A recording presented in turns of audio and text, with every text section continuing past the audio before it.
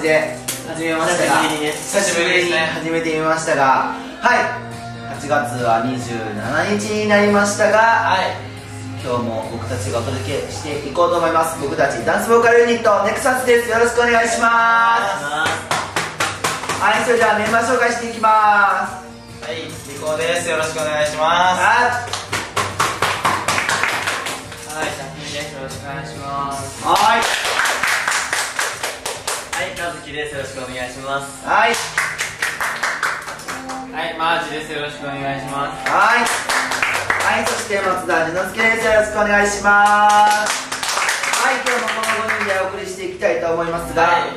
まあなんともね一人またなんかこう誰？一番 キャラクター部門的にはなんかこうキャラクターボーン今のうちに遊んどかなあかんのじゃっていう感じで結構遊びまくってる誰 KZK さん。ダホ。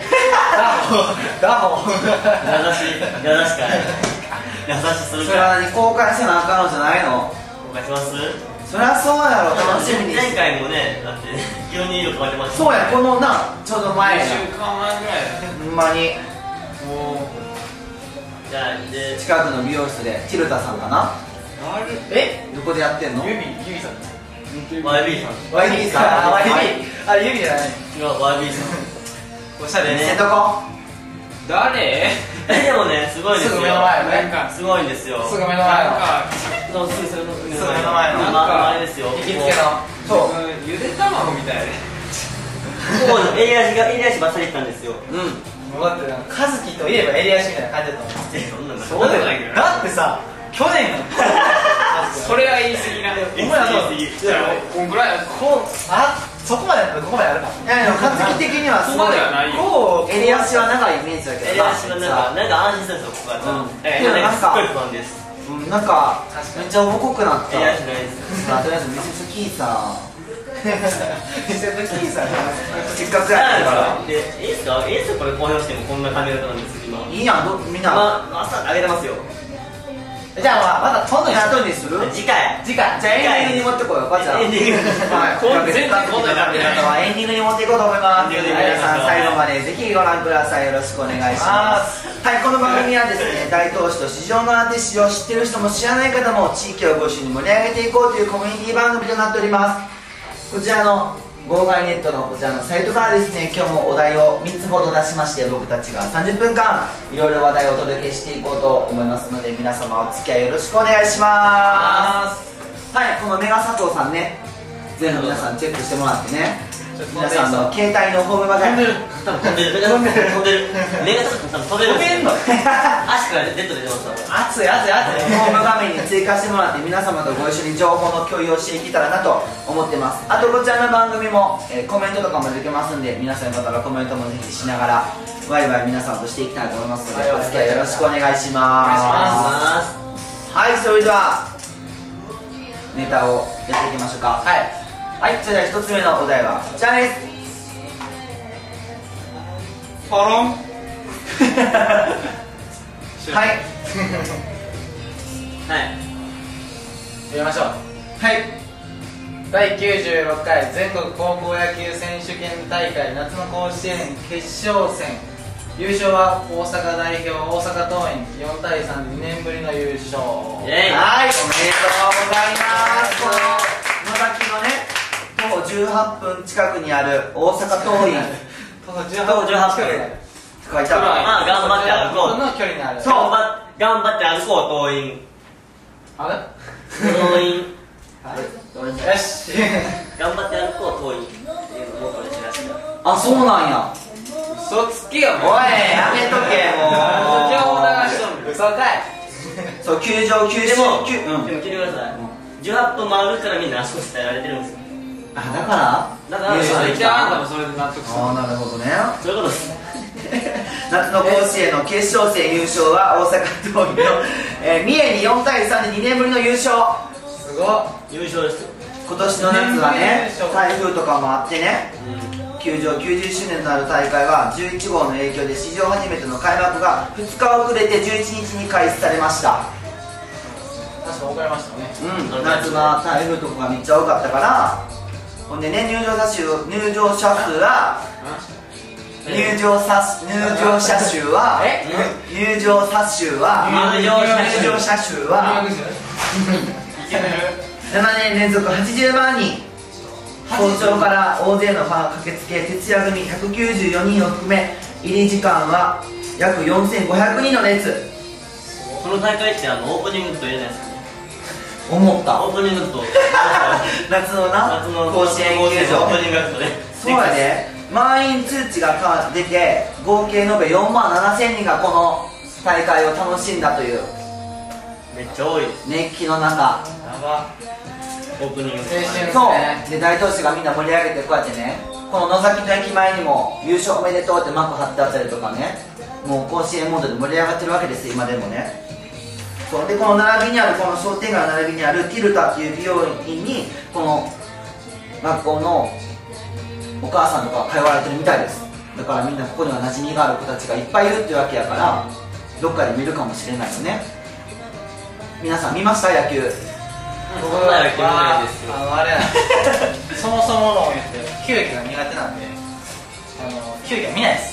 お前なんでざっくり言うねんお前見ないししないですよやろうやなんかサッカーとかさ。えでも卓球できますよ。なるほどね。あのああれあなんていうんですか。とまお泊まりとかできないですか。地方に。うんあ旅館のやつ。そう旅館のやつ唯一。えビリヤードとかは？ビリヤードはちょっとおしゃれすぎるから。あ同じ言うか。俺ビリヤードくれ まあどういう形で優勝できたかっていうのはね調べたんですよ僕もちゃん。と見てないんですかん？見てたよ。チラッとけどごめんあのでもなちょっとその場面にはちゃんとリアルタイムで見えることができへんかった。ねちょっと大人の事情で。そう。で4対1点リードされた7回の西満塁で中村選手のねこの仲間へ2点敵自打で逆転。あの見てんけど動画をさっき調べたんやけどこうなんすかグリズリー。こういやいやそれこうやから。やめとけ。このっていうところであ？アウトになって全然伝わらない。それなのでみんな動画チェックして。優勝の瞬間の。でもほらもう熱気のあるこの夏一大イベントをね青春やん。せ青青春。春青春やん。選手選手って呼ば青春それめっちゃ完成やん。青春？青春の1ページやんこの子たちからしたら。そうですね。そう。きゅ1983年に88年に作られて91年の春夏に80初出場した桐蔭。ね。ここからの歴史があって今2年ぶりに優勝したわけですよ。で結構野球のイメージがすごい強いねんけどあのここの学校は他にもいろいろあってね。ラグビーやったりラグビーやるうんサッカーとかあとゴルフ。ラグビー。ゴルフ？ラグビーラグビー。ラグビー。って言いまし今たゴルフって言います。ゴルフね。ゴルフあるんですか？ゴルフも吹奏楽もあるねんスポーツにとったクラブにえそう。クラブにゴルフ。そう。え？でね野球選手はも中学校の時うもってのほか元中日の今中選手とか 阪神の岩田選手。あと最近では12年卒業した阪神の江村選手とか13年卒業の阪神の藤浪選手。あと最近では14年卒の西武の森選手ねとかがこのこう卒業してメジャーに行ってるわけですよ。ポンポンみんなね頑張ってちょっと野球あんまり見ないんでわかんないんです。名前もポンポンポンポン出ても。命 あでもすごいなって。そうそんだけのところが輩出されてるってことです。よでまあゴルフやったらあの宮坂愛ちゃんのおえ兄ちゃんのね。宮坂愛ちゃんのお兄ちゃん。そうとかもね。あとサッカーやったら清水エスパルスの三浦源太さん。あと乃木坂46っていうの。の松村さゆりちゃんも出身らしいです。ごめん俺はちょっとわからないアイドルも輩出そうアイドルとかもいろんな。話できるとオールジャンルから。でもい。けるあれでもいける幅広く。そう幅広くみんな選出してるっていう。お笑い芸人とか有名な俳優俳優そうやね。こんな近くでもう大スターがいっぱい出てるってことはみんなでそこは遠いともうだからって出るべきちゃう野崎出身の KZK 君もやっぱここから羽ばたいていってメジャーに。遠いじゃないです遠いじゃなくても野崎市や一応。ああ野崎市か。らな？はい野崎市かな？ゆで卵だもんゆで卵やりたくな？ったんじゃないかこの夏は彼らにとってはとても大きなね一大イベントで人生に大きい思い出ができたんじゃないかなと思うんですが。この大会で優勝っていうのはでかいですね。うん全国そうやねうん。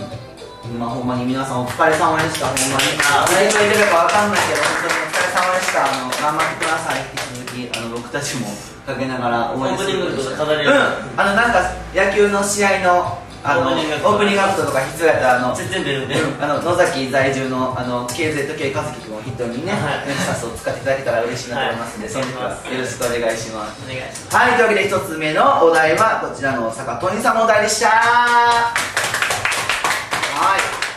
まあ今日が8月の27日ということでもう夏もあっという間に終わっちゃいますけども皆さんなんか夏の思い出とかありましたか？ないですライブばっかりねしました。ライブばっかりか。あでもそれもいいやんな、ライブと路上ばっかりでした。あんまり人並みには経験できへんことやな。そうですね。ここ3人はバーベキュー行きましうん。あ来ましたせこい聞いてないしな楽しそうな。いやい言いましたか？じゃあ俺ここ3人あのサッカーしたからいいじゃん。たあしましたボール蹴りしたから。なんか匠はあるなんか夏の思い出うん。ないですね。サクッと言ったな。まあねそんな夏のいろんな思い出があると思いますがまだまだ夏は続きますから次のお題はこちらをちょっとご紹介しようかなと思います。それでは次のお題はこちらですはい。ジャンプ台からスキースノボで水に飛び込む。勝間にある大阪ウォータージャンプ。これなんていうの？オーエアかな。オーエアが人気を集めている。はい。オーエア。こちらです。オーエア。オーエア。大阪ウォータージャンプ。スキーで。オーエスキーやボードの板を装着して。アそうでジャンプ台からパンって飛ぶわけで水に飛び込むと。そう。でモーグルオリンピック選手だった上村愛子さんもオフトレーニングで使ってたっていう、でもまあどんなことするんやろうって多分分からない人が多いと思うのでそういう方にちゃんとこう動画があるわけです。この動画いきますか。はい。じゃあこちらの動画を見ていただこうかなと思います。かき氷のことですか？そうやな。あかき氷を夏っぽい。あまあ、やっぱり夏はみんな海とかあのなんやろ、まあ、ダイビングする人だったら夏のダイビングとかしたりとかあとプールとかね。海もあるやろうけどあいいなこういう感じでやるわけですよ。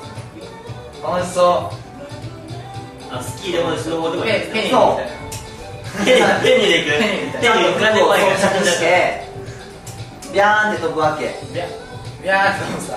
だからあのボードの選手とかこう技の練習とかするためのなんか水板僕スノボやってますよえー、じゃあできるんじゃん今度はい多分スキーと。かなんかこんなんもできますし。へでもこの縦回転でくるとかはまだ僕やったことないですけど。これで練習したらできんじゃん。いやこれはできる。板って重いんじゃないか縦回転切ったらめっちゃ軽いのこれは今みたいな。こんなんは無理ですね。うん。俺はできんで普通にここで練習するパイプ俺はできところに普通にピョンって乗っかってそのままガーって。カズキもできるの？俺の戦いでガチでできますよ。へえただスノボはやったことないですよ。この子あスノボはこの子やったことないですか？らうん。でもうできますよほんまにこれは。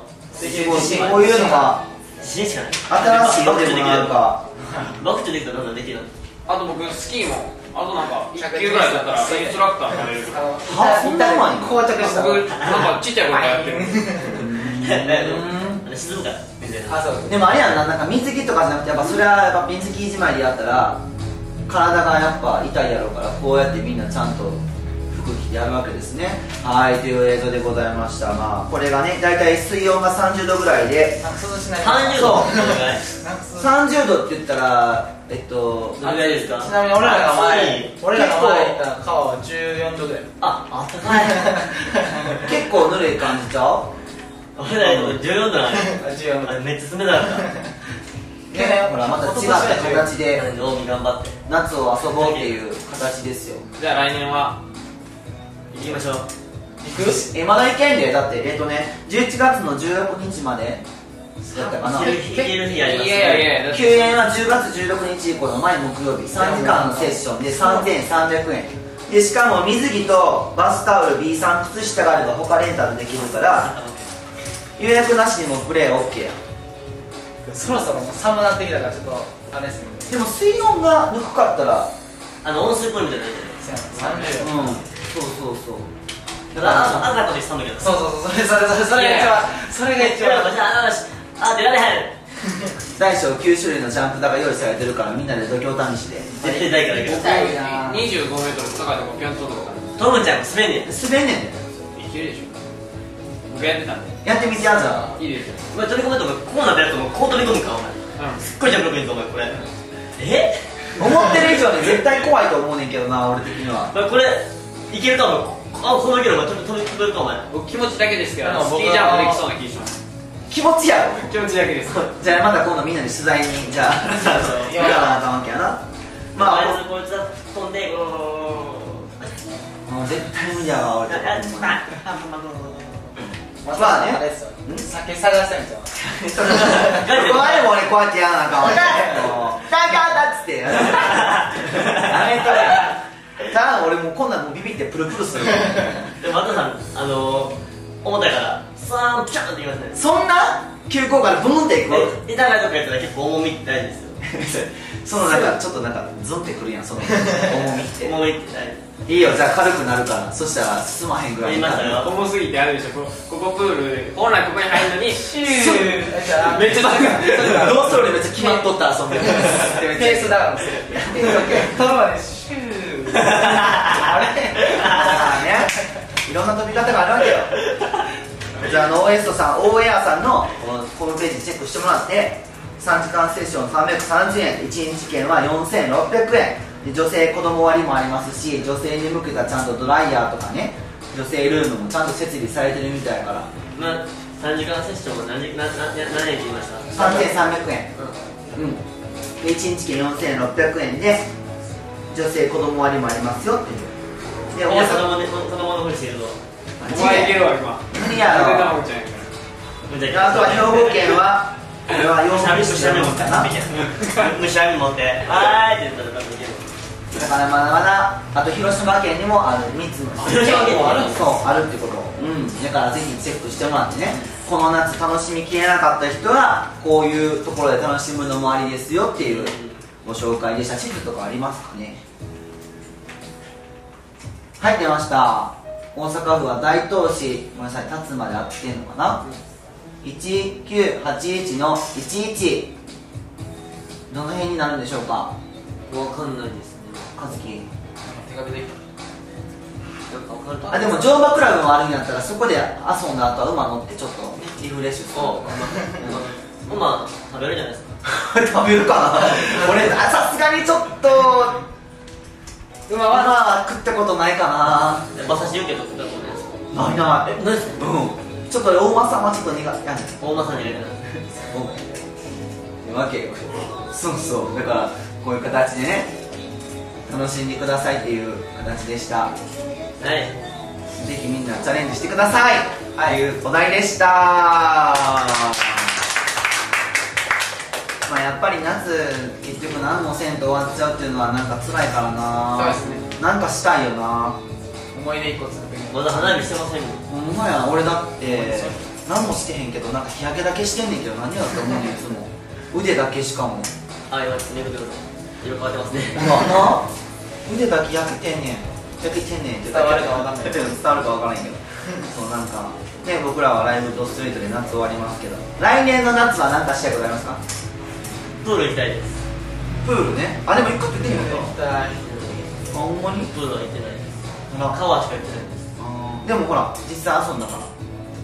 そうおお泳いでません俺も冷たすぎてここまで入るのがやっとです。あそうだ仕込まない嬉しくんで入れられたこいつに。サン サンダルでパチンって感じ。もうほんまそういうのする俺の鎖骨に思いっきり当たった。気ぃつけてほんまに。結構大きめの。体痛い。まだまだね。5年が夏はねこうみんなそういうレジャー以外にもレジャーっていうかまあ遊んだりとかもするけど他にはやっぱりほら旅行とか行ったりもするやん。そうですね。みんな。そんな旅行とかするときにぴったりなんがありますよっていうのが次のお題です。こちらです。つなげましたね。あの。出し道楽のご近所に今度は格安切符販売機が登場。その名も自販機で切符名人 JR 切符 JR 切符の1号機と京阪の京阪切符も対応の2号機のお得ツインタワはいというわけでなんともあのお出汁の自販機があるかと思いきや今度は切符の自販機があるっていうね。写真初めて見た。じゃん。なんかはいカットされました。通信制限があれで見えないあ。ーなんかあのあれやあっちにこっちにその出しトラックの駐車場あるんですよ。うん。渡ってきてこっちあじゃあ向かい側ってこと？向かい側へー。あこれね。通ってきたの。に見見つけられる。通った通った通ったん通って通ったならどうやって来た普通の。ペンに。どこみんなちゃんと調べとかへんの？みんなどこから手に。入れたのアホやん。ありがとうございますこういうのができた2台もできたわけ？で、うん、これでも、まあ、結構前からありますあそうなんや。まあだめっちゃとじゃないですけど、うん。まあ、まあ、前っちゃ前ですけど、うん。最近、最近？最近じゃないです1ヶ月前ぐらい。うん、俺多分中学校の時になんか見た気がする。中学校？え？ちょっとじゃあスクロールしていただいて。ガセネタ流すな分からへん分からへんでも、はい、これをこうやって形で普段えっとあなるほどな JR の切符とかが駅前で買うのもすぐ買えることですか？じゃあしかも10円安いんですよ。あそうなんあ10円は安い安いの。なるほどね。200円。あ200円。とか安いそれはちなみにいつに設設置されたのかがとかが出たりするんですかねこあほんまやな。れ中に使用できる時間帯曜日が限られてます。この時にあれやん。結構この時に買ってもう来てこの時に使ったりするだからこういう形でほら。ちょっと遠くまで出かける時もここで買った方が安いですよっていうことですよね要は、っていうのができます。購入手続きはお金を入れて枚数をして切符ピッてするボタンピッてするだけっていう新しいのもできたわけですねえ割引額が大きいのもあるので上手に活用すればお得。あれこんなん早から分からへんわ。ー回数重ねたらもっと得ですよね。うんってことじゃん一回も入れたりするねぜひこちらも皆さんチェック次第ですごい。ちょっとでもレジャー格安で行っていただきたいなと思います。住所住所が書いてなくて井戸の経度が書いてる。全然わからん設置場所。すいませんあのちょっとあのおバカな僕たちにはわからないのでもうちょっと詳しいあの内容を書いていただきたいなと思います。あでもねはいあれそのだしのせんだしがすごいでも場所はなんとなくわかる。住の堂駅のうん。まっすぐあの上ちょっと上の駅あるね、ホームホームで。橋渡った。改札出てうん。まっすぐ広場があってそこまっすぐ行ったら下に降りれるとこがあってうん。でこっち側こっちに2箇所あるんですよ。それの左側を降りていったらもうすぐあります、うーん。バス停があってそのバス停のちょっと向こうで。右置いたらだしが。右側右に出す左に切符まあどっちかのどう。ぞじゃあ今度僕にしろよそこで切符買ってじゃあ。全然ちゃう出すと切符ってっていうまたお得なねこの大東市の住の堂の駅前にはまたお得なのができましたっていうお知らせでした。はい。はい。っていう今日は3つのこのお題をお届けしましたがはい。まあ、最近はあの見に来てくれる方たちもパラパラねうん増えてきてありがたいなって感じなんですけど道がちょっとまだわからんっていう人がもしかしていらっしゃるかもしれないんでね。ここはどういうところなのかっていうのをあの和樹さんちょっと説明場所を説明してもらうことができます。かここです。か道のり。道のり。どうやったらここまで来れるか。駅から。えっと駅から、うん。まず駅を改札を出ます、はい。皆さん聞いといてくださいこれ。じゃあ横にファミリーマートがあります。うん。ファミリーマートは無視しましょう無視しましょう。じゃあいいよ。改札出ます。はい出ます。まずまっすぐ行くとうん。すっごい停止見るんだけど。野崎商店街でもあれ出てこう行ってこう行って出てうん。まっすぐ行って 左行って右端みたいな。橋あれ何個までね何個までの橋うん。せやけどなんかまあ。え？車も通る橋みたいな。あ全部元の橋やねほん。まにごめんなあのあのここ出て左に行ったら、うん。ちょっと出て左に行ったらあ今のちょっとちっちゃい。そっちもこっちの手前の方も両方とも橋やないうん。後で見に行ってみ。こう出て、うん。左行って、うん。で右見たら左まっすぐ左右行ったらうん。商店街があります。はい。あガーイ商店街山があります。山があります。それの左側を見ながらずっと歩いてたら出てきますうん。はい、大体野崎の駅から徒歩5分ぐらいかな。そうですそうにありますこの野崎スタジオさんから僕たちお届けしてるんですけども。あのまあ今日もコメント届きましたけどバイク焼けですな。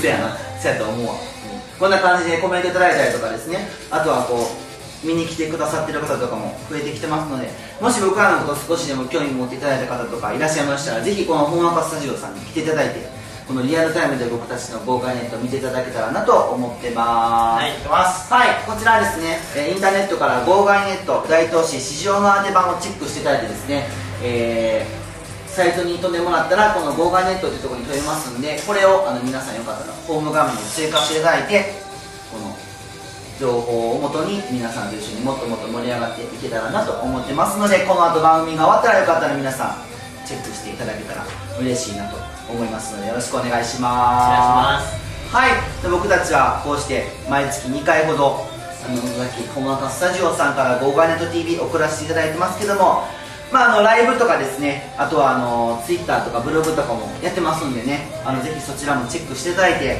あのネクサスという子たちはどういう子たち子たちなのだろうっていうのをぜひチェックしていただけたらあの嬉しいなと思います。はい、僕たち8月の29日は日本橋アップスさん。8月の30日は京橋のベロニカさんで、えー、たこ焼きかき氷食べ放題とかあとライブとかもさせてもらいますんでよかったらぜひ見て見に来ていただけたらねはい。嬉しいなと思います、はい、はい、ます。うん、そして12月の28日には初のツーマンライブも決定しますんでよかったら僕らのことじゃんじゃんチェックしてもらってもっともっとネクサス盛り上げていただきたいなと思いますんで応援よろしくお願いします。お願いしまます。はい、というわけでお届けしてきましたネクサスがお送りする号外ネット TV ですがエンディングで